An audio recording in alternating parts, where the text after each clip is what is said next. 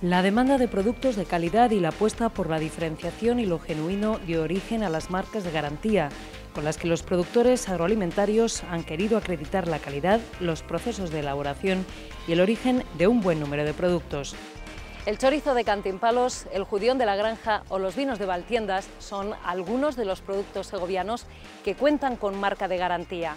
Otros llevan meses detrás de este objetivo y están a punto de conseguirlo. Hoy, en el último Zoom Segovia de la temporada, hablamos de marcas de garantía.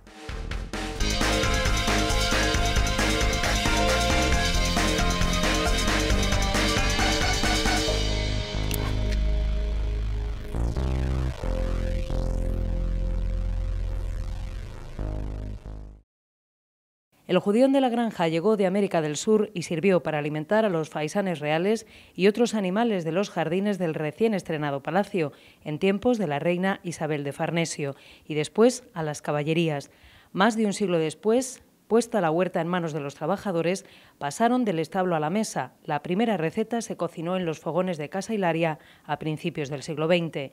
Unas décadas más tarde, Tomás Urralde los llevó a la Carta de Cándido y recién comenzado el 21 se apuesta por conseguir una marca de garantía. Todo comienza como un proyecto particular de un compañero de aquí de la granja, como un proyecto de fin de carrera y se presenta ese proyecto al Ayuntamiento de la Granja de San Ildefonso como un motor de promoción tanto a nivel eh, cultural como a nivel de productividad económica. Bueno, sobre todo un marco mm, de protección legal que antes no existía sobre este producto. Como todos sabéis, el judío de la granja existe en toda la provincia, en todos los comercios, y os puedo asegurar que más del 90% de, de esa legumbre que utiliza el buen nombre y el reconocimiento y la fama que tiene el judío de la granja, pues no procede ni siquiera de nuestra comunidad, ni siquiera de nuestro país.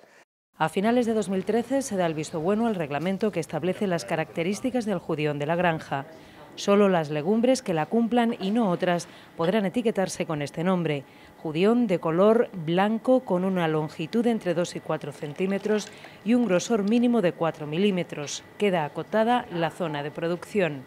Hay una zona delimitada dentro de la provincia de Segovia que incluye unos 137 municipios y solamente de esos, dentro de esos 137 municipios eh, se puede cultivar el judío de la granja porque reúne las características eh, de tierra, de climatología, hidrográficas necesarias de clima para que se pueda dar ese, ese, judío. La zona de la sierra de Guadarrama, de toda esta sierra, eh, aquí en la granja también es importante, es una zona muy importante, sobre todo a lo largo de la vega de los ríos más importantes de la provincia, y bueno, pues como zonas más importantes, pues digamos que podríamos hacer un triángulo imaginario que sería la granja Ontanares Caballar, sería la zona eh, de mayor producción. A partir de ahí, pues el agricultor solicitaría la inclusión de su parcela o de su producción dentro de la marca de garantía y se le suministraría la semilla a través del banco de semillas creado también por la Asociación Tutor de Judía de la Granja, que es una semilla certificada con origen en la granja, es eh, la semilla autóctona de aquí,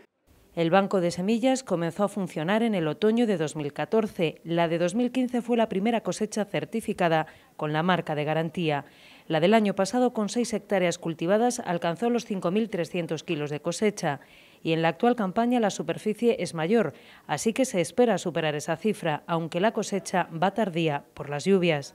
Estamos hablando de 22 productores para esta, para esta campaña y la superficie total de producción pues rondaría sobre los 7, 7 hectáreas y media. Siempre hay que hacer una preparación previa de la tierra, pues eh, el abono, el aireo de la tierra, un poco de movimiento de, la tierra que se, suele hacer en abril, si el tiempo acompaña, incluso en febrero también se suele, se suele realizar. La cosecha del judión se comienza a partir de principios de mayo, San Isidro 15 de mayo, y durante ese periodo pues, ha habido muchas tierras que no se han podido trabajar, no se han podido cultivar, no se han podido dar labor por todo el tema de las lluvias. Desde luego tenemos el periodo de maduración de la planta que duraría pues, hasta principios de agosto, bueno, ya más bien finales de agosto, principios de septiembre, es ya la recolección pura y dura de, la legumbre en sí. Este año quizás vayamos un poco tardíos a la hora de la recolección y quizás se alarga un poco más el periodo de, la puesta en comercialización del producto. El primer objetivo que se marcan desde la Asociación Tutor del Judión es consolidar una base sólida de productores para poder atender la demanda de esta cotizada legumbre. Que desde el productor eh, tenga una confianza de que ese producto que él cultiva llega a los puntos de venta con un marchamo de calidad y que tenga también la posibilidad de venderlo a un precio adecuado a, su, coste. Y luego, en cuanto al consumidor, pues creo que también ha habido un cambio de mentalidad eh, a la hora de la diferenciación de este judión que hablamos anteriormente, foráneo, que se hacía pasar por judión de granja, con el judión marca de garantía que el público y el consumidor se está dando cuenta realmente de la diferencia que hay entre uno y otro. Y en pocos años ya se han dado avances en los métodos de producción. Se ha visto sobre todo un incremento de la, maquinaria, de utilización de, mecanismos eh, que no fueran manuales. Hay que tener en cuenta que este es un cultivo que durante más de 300 años se ha mantenido casi eh, intacto en los métodos de cultivo, de producción, de recogida, de secado. Y estos últimos años también desde la marca de garantía se ha intentado modernizar un poco ese trabajo porque es un trabajo manual, muy costoso, muy laborioso, que necesitaba mucha mano de obra. La marca de garantía cuenta además con dos plantas envasadoras, también en la provincia, en Valseca y Fuente Milanos. No tendría mucho sentido que la producción del producto primario fuera la provincia de Segovia y luego la transformación de ese mismo producto se llevara, pues no sé, a, pues a Cataluña o a Madrid o a cualquier otra provincia. Entonces, nosotros lo que queremos es que la riqueza, toda la que se genera aquí, se quede, se quede aquí. Y se acaba de sumar al mercado de alimentos de precocinados. Huercasa ha lanzado una nueva línea de innovación en ese aspecto y se trata Judión marca de garantía, igual que eh, se puede encontrar en seco en el mercado, eh, simplemente que ya se encuentra precocinado con una receta realizada por el chef Rubén Arnaz, estrella Michelin, y lo pueden encontrar en tres eh, formatos y en tres variedades. Una que sería natural, simplemente el judión cocido, la receta tradicional con chorizo, la, típica de toda la vida, y luego una receta que yo creo que es bastante atractiva, que es con boletus y piñones.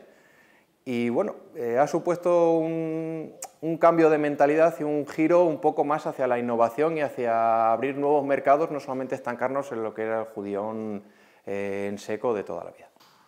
Un buen número de productores vitivinícolas de la provincia de Segovia están adheridos a las denominaciones de origen de Rueda o de Ribera del Duero, pero hay una denominación de origen específica de la provincia de Segovia, la de los vinos de Valtiendas.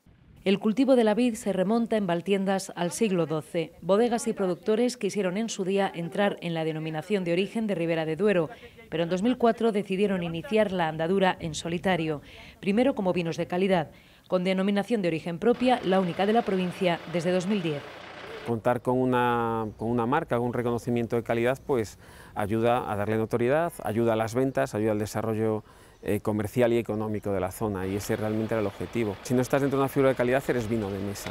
En este y otros ocho municipios del norte de la provincia trabajan seis bodegas y 14 viticultores que cuentan con 200 hectáreas de viñedo, de las que 80 califican su producción con la denominación de origen protegida Vinos de Valtiendas. Hace dos veranos fue una, una, producción anómala en cuanto a que la cantidad fue enorme, el año pasado fue una producción muy corta, pero bueno, si hablamos de una producción normal, estaríamos hablando de alrededor de unos 250.000 kilos. Lo que pasa es que no todos esos kilos eh, se califican después dentro de la denominación de origen. También se hacen vinos de mesa, por decirlo así.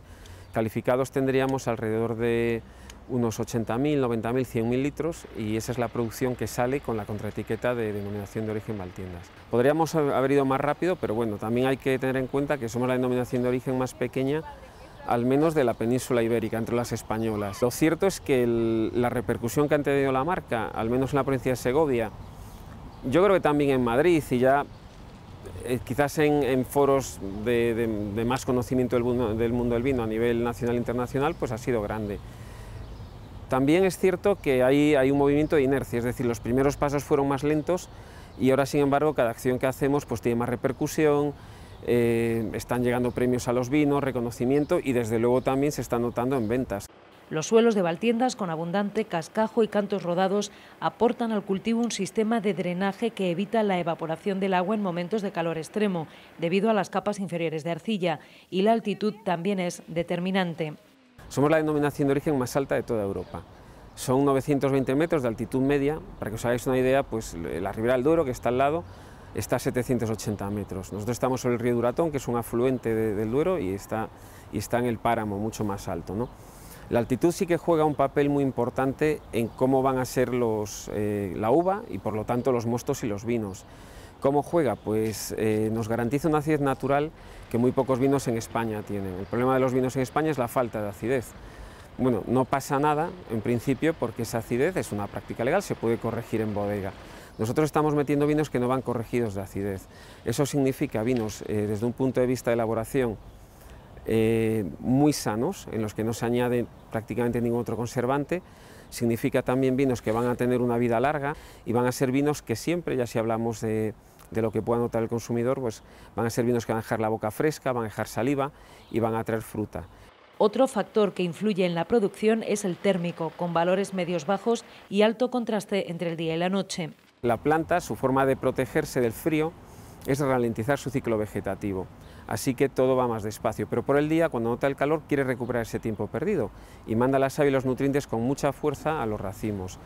¿Qué provoca eso? Que el ollejo se haga muy gordo y acumule eh, lo que nosotros llamamos polifenoles, que al final es donde reside los aromas, el color y el sabor del vino. Así que vamos a tener vinos muy aromáticos, con una carga frutal intensísima. Aquí se cultiva sobre todo uva blanca, albillo y tinta tempranillo, aunque también están autorizadas la garnacha, cabernet sauvignon, merlot y syrah. No puede haber más de 4.000 cepas por hectárea y también está limitada la producción. Este año se espera una buena cosecha. Hemos tenido una, helada pequeña el, 14 de mayo, que, que bueno, la influencia no ha sido demasiado grande en cuanto a a pérdida porque la estación venía retrasada. Como dices tú, ha llovido mucho, ha hecho mucho frío y, todo el, ciclo vegetativo de la vid ha arrancado tarde, con lo cual había muy pocas yemas brotadas. Aún así, pues bueno, yo eh, calculo la incidencia que tuvo esa helada en alrededor de un 25% ¿no? de lo que sería la producción eh, total si no hiciésemos nada más. En un verano normal, no se deja toda la uva. Hacemos algo que se llama poda en verde, que es justo ahora, que es cuando ya después de la floración, pues si vemos que tenemos demasiados racimos, todavía son muy pequeñitos, pero ya sabemos cuántos vamos a tener, pues quitamos carga a la, vid. Con lo cual yo creo que todo con todo, la incidencia de esa helada no, en, en la producción final que podríamos tener, pues ha sido prácticamente nula. Digamos que nos ha hecho la poda en verde. ¿no? ¿Eso qué significa? Bueno, pues significa que podemos estar en los, en los 4.500, alrededor de 4.500 kilos por hectárea, entre 4.000 y 5.000, depende un poco de la viña, depende un poco de la cantidad que vayamos a hacer. Si todo va bien a partir de ahora, eh, yo creo que deberíamos estar en los 300.000 kilos. Ni excesivamente duro ni blando, de color rojo intenso al corte, de masa homogénea y con pequeños trozos de grasa. Así debe ser el chorizo de Cantimpalos, un producto muy segoviano que cuenta con marca de garantía, indicación geográfica protegida desde 2008. Heredera de una arraigada tradición chacinera en esta zona de la provincia, la producción industrial nace con el siglo XX. Hay documentos de la década de los años 20 que acreditan la exportación de chorizo de Cantimpalos a México. Ya entonces, es 1928, se advierte a los proveedores de la aparición de imitaciones. Fue común encontrar la denominación de cantimpalos para cualquier chorizo que se le pareciese en toda la geografía española, y de ahí nació la necesidad de buscar una marca que garantizase la autenticidad del embutido.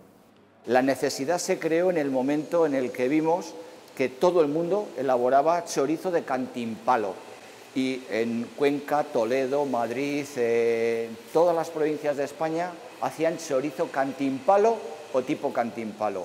Y eso podía haber llegado un momento a considerarse un producto genérico y perder nosotros de alguna manera lo que es la titularidad y la singularidad del producto como es cantimpalos. El camino fue largo y complicado, muy complicado. La verdad es que creo que en Castilla y León ha sido de una, una de las denominaciones que más ha, ha, costado el, el conseguir la publicación como tal, porque sabemos que las denominaciones de origen protegidas y las indicaciones geográficas protegidas es una protección a nivel Unión Europea.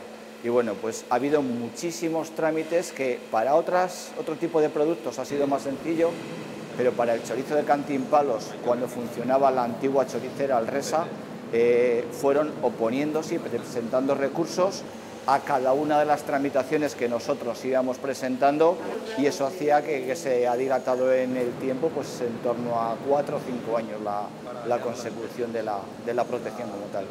La IGP se aprobó finalmente en 2008, eran los años de la crisis y el producto, aunque con nombre, no dejaba de ser nuevo.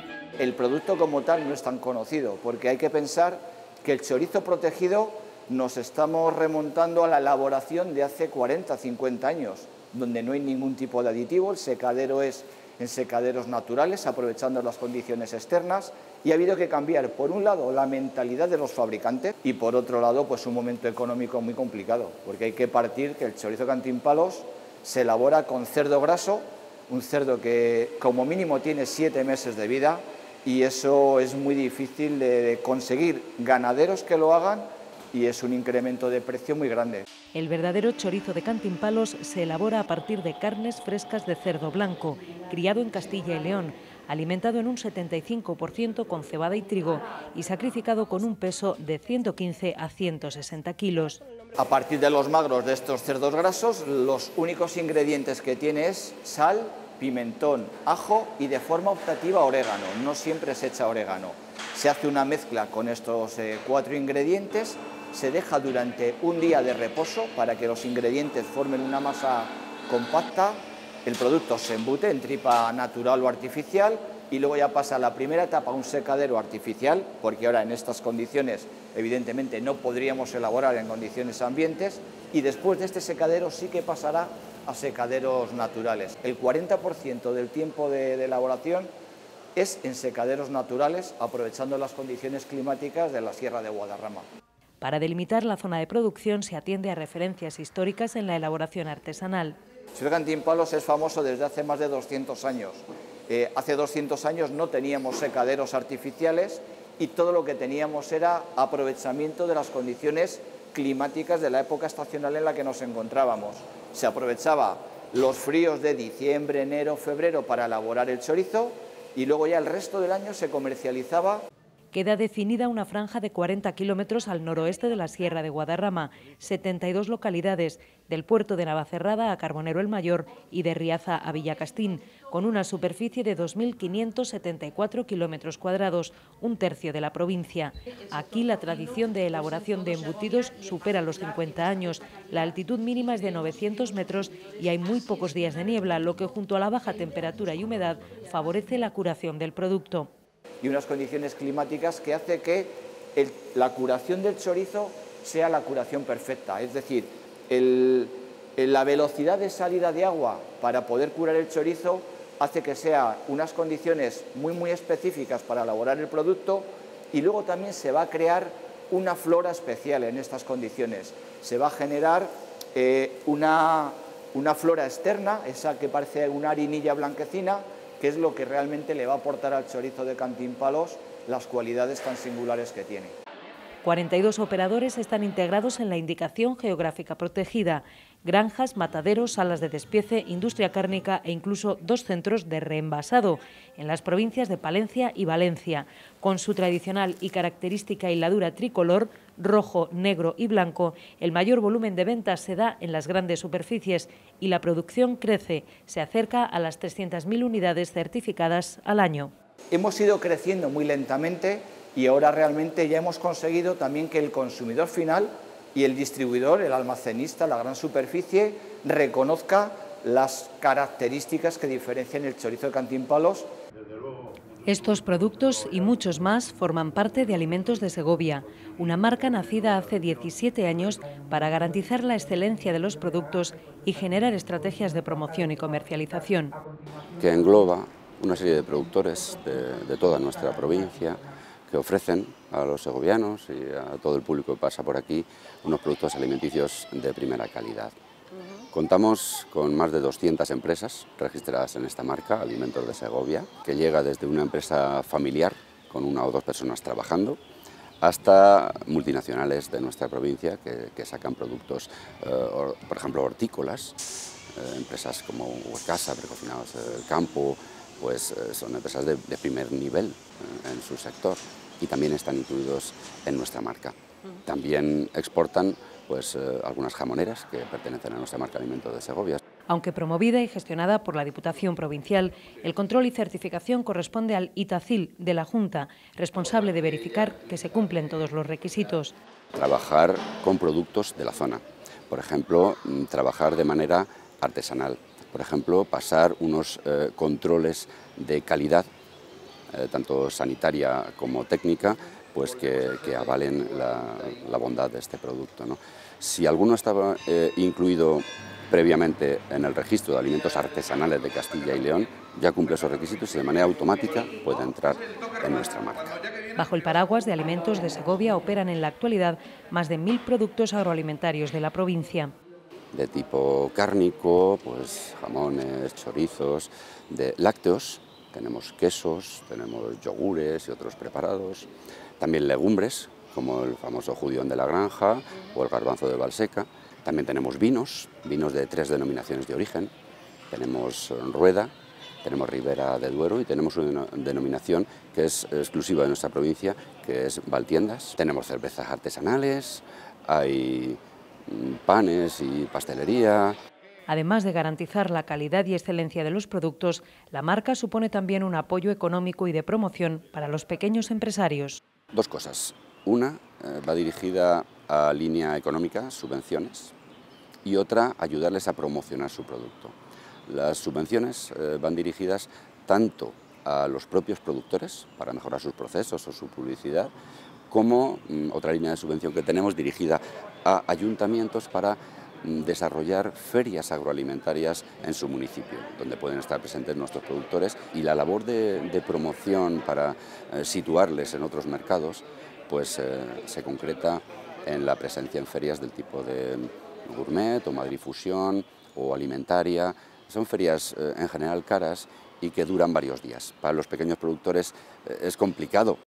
En Alimentos de Segovia está también el garbanzo de Valseca. Gordo y suave como la manteca es otro de los alimentos típicamente segovianos que busca su marca de garantía. Están a punto de conseguirlo. Esperan que la de 2019 sea la primera cosecha con certificado de calidad. Las buenas tierras de Valseca y la esmerada selección de las semillas son los principales factores responsables de la calidad de esta legumbre segoviana, a la que se dedica cada año un festival gastronómico en una localidad que desde que tiene memoria está asociada a su cultivo. Yo desde mis antepasados siempre sembraba garbanzos. Era casi para el autoconsumo, pero porque no se comercializaba como se comercializa hoy día. La carrera para conseguir la marca de garantía comenzó a principios de 2017. Pues que no nos quieran meter, no nos quieran engañar con el producto, que nosotros pues conseguir vender nuestro producto a mejor precio. Un camino que se ha hecho de la mano de Prodestur, cuyo laboratorio se encarga de realizar los estudios. El estudio es muy amplio, es estudio de la climatología, eh, de la edafología, hacemos análisis de suelo, análisis de producto y recopilamos la mayor información para elaborar el, informe justificativo, que así se llama.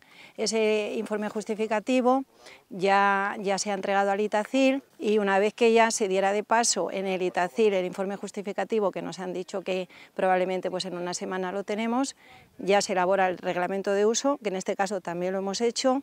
El reglamento de uso es como un protocolo de cómo tiene que ser el cultivo una vez que esté la marca. ¿Qué tiene de especial el garbanzo de Valseca? Lo primero, la semilla.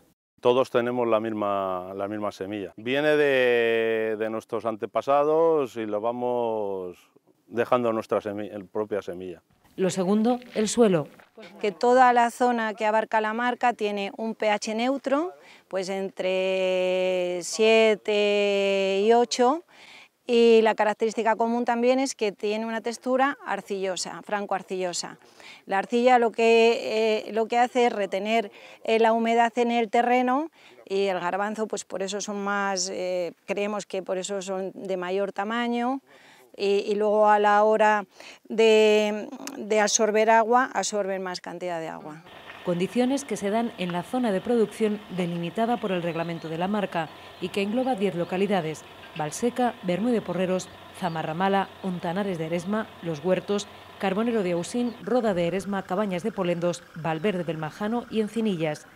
El reglamento también señala las formas de cultivo, la época de siembra y recolección, los tratamientos que se pueden dar a la planta, el almacenaje, el envasado en seco o precocinado y, por supuesto, las características del producto. Por ejemplo, el tamaño, no menos de 8 milímetros de calibre. En 100 gramos debe haber un mínimo de 55 garbanzos y al gusto deben tener la piel poco suelta y blanda y la carne mantecosa si hacen unos análisis anterior a que el, eh, a que el producto se pueda envasar como marca de calidad y, una vez que cumplan esos requisitos establecidos en el reglamento de uso, se puede comercializar con la marca. Productores somos 10 productores y hectáreas, eh, este año hemos llegado a casi 80 hectáreas. Cada año es un mundo, pero bueno, pues yo creo que este año, según veis, pues puede llegar a una tonelada por hectárea. Sería una buena cosecha y eso que este año las lluvias han retrasado algo la siembra, que se realiza a finales de abril. Bueno, hemos andado un poco, un poco tarde porque con la lluvia no nos dejaba entrar en el campo. Si todo va bien, los últimos vistos buenos deben llegar en las próximas semanas así que solo quedaría registrar la marca y ponerse manos a la obra para certificar en 2019 la primera cosecha de garbanzo de Balseca garantizado.